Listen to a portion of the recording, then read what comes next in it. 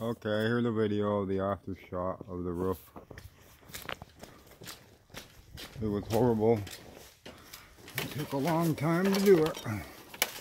Covered moss, algae, really bad. And I don't know if I can get it to show very well, but it's a green, a really pretty green that you couldn't see. Ah, yes, I'm not seeing it in the video, but if you'd have seen it before, it was covered in moss. It was black, except for the top foot and one little corner. Trying to get the right angle, but it might show up better. But you see my other video, you see how bad this was. Really, really nice. A couple little specks of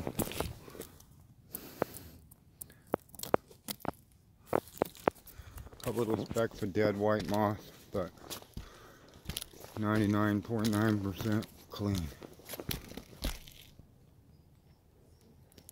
It's freaking horrible, horrible. Look at this roof now. People say treat it and leave it. No, it was horrible yesterday. This fireplace. Seen, oops, you seen the other video? It had two inches of moss on it.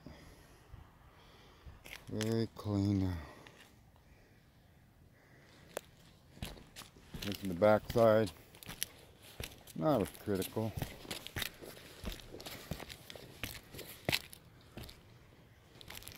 Anyway, I just thought I'd make a video of it.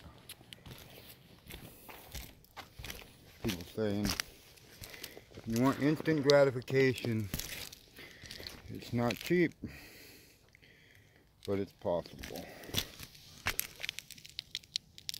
I don't treat it and leave it because this house is going up for sale. They want to put it on the market and there's no way they could do it with that other roof, with the roof and the condition it was in.